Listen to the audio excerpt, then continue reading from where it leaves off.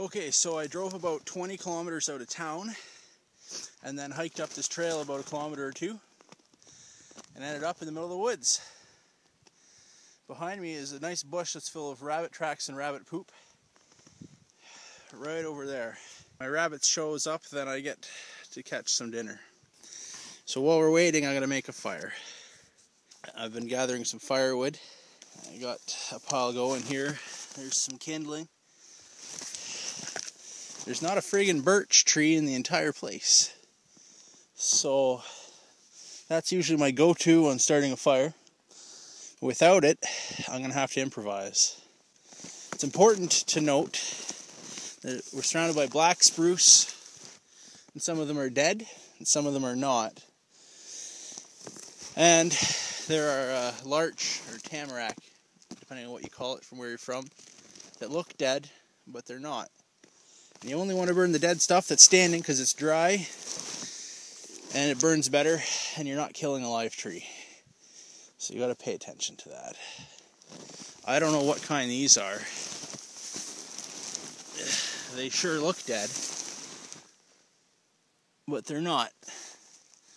They got I guess they're some kind of larch or tamarack or something. I don't know. Anyway, we'll uh, come back when I got some more wood. So, uh, there's my wood pile I gathered. And I got this for Christmas. This is one of those uh, flint magnesium scraper, sparker, fire starter dealies. It's going to be really hard to start one with this, but uh, I'm not going to die, so I'll try it. And uh, if it doesn't work, I've got a lighter and matches. I don't have any paper, and I couldn't find any birch bark. Uh, I've heard that this stuff, which is called like old man's beard moss or something, that grows on all the black spruce trees here. Uh, I've heard that that's good fire starter, but in my experience, when I touch the stuff, uh, it feels very damp and humid so I don't know. But uh, we'll experiment. This is my kindling pile. It's pretty big. Uh, once that gets going, I plunk it right into the middle of my wood pile here. And I got a whole bunch more to stack on top. And then everything else on top too.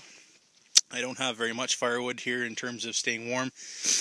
But I just want to cook a couple hot dogs I'm not even making tea, so it's really, I don't even, I could eat them raw.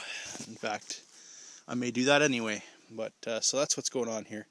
Um, so my first priority is going to be to produce, uh, I don't know, I'll get some kind of a, something, some flat surface uh, that I can make a bunch of scrapings from this thing into um, to, to build them up before I light the big spark into them, and hopefully they'll get the other wood going. So we'll be back in a minute. Okay. Uh, so actually, as a last minute forethought, I took my knife and scraped some shavings off of a, a larger stick. Maybe they'll help start it. I don't know. I just scraped a whole bunch of scrapings from my, well, maybe not a whole bunch, but a small amount from this guy, and piled them up right on top of those wood shavings in the middle of my kindling pile, my kindling bundle. So let's see what happens. I'm gonna try and spark it and uh, maybe some good camera work. Maybe it'll go right away. Maybe not. Probably not. Ah.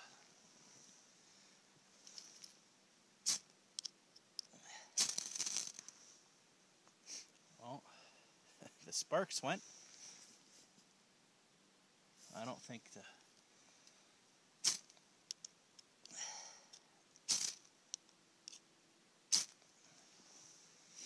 So let's scrape some more and we'll try again. So I've given up on the uh, sparker, that flint striker or whatever. I'm going to try using matches. Uh, no name, Still no paper. And if that doesn't work, I've got a butane lighter that might or might not work. It's about negative 10 out today. So we'll see.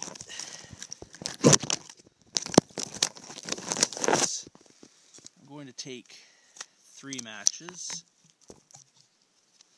and strike them all at the same time to have a larger flare up. It might or might not work.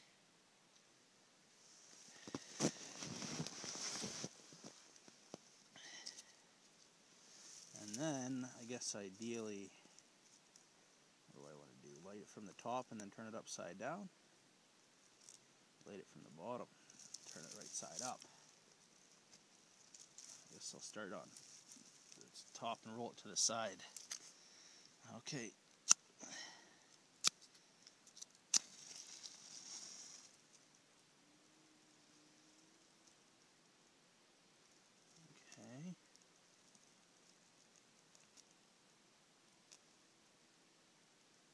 Okay.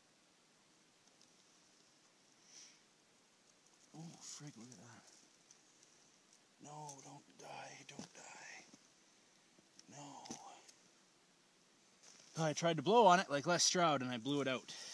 But uh, what we learned from that experiment is that it looks like these things burned really well. Uh, these little shavings that I made from the piece of wood. So we're going to make some more of those and then try again. This time it should work. This time I have many shavings, all, and I've split my my uh, kindling bundle in two. I laid out half on the bottom, put my shavings in the middle, I put it back on top, the second half. So what I'm going to do is light three matches into the middle, right here, into my shavings, and then gently put my kindling bundle back on top and hopefully get a ball of fire going. Then I grab this other small stuff and stick that on top. Then this gradually bigger stuff and stick it on top. And then I'm going to pile everything on top. And hopefully it all just engulfs into one big uh, fireball. Let's try. And this has to work soon because I'm getting real hungry.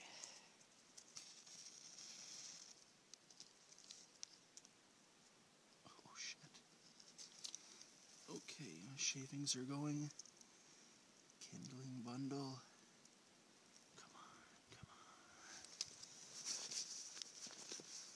on. Yes. There's a sl slight breeze just started right now. Oh, this is perfect. Some extra kindling on top. Oh, no, there's wind coming up suddenly. Why is there wind? Oh no. Okay. Alright, I gotta put the phone away. Looks like it was a success. Time for hot dogs. Okay, I just literally threw all the wood on top as soon as I got it started. and it made this giant inferno. And uh, it's almost burned out, and I'm almost out of wood. I haven't even started cooking. But boy, is that warm. Oh, so this is how forest fires start takes one spark in the summertime or one little flame, a little bit of wind. Next thing you know, the forest burned down. It's literally been three minutes, hasn't even been five minutes yet since I started this thing. And all the wood I stacked on top is almost gone. And I don't even have a wiener stick. So I guess I better get going on that too. Okay,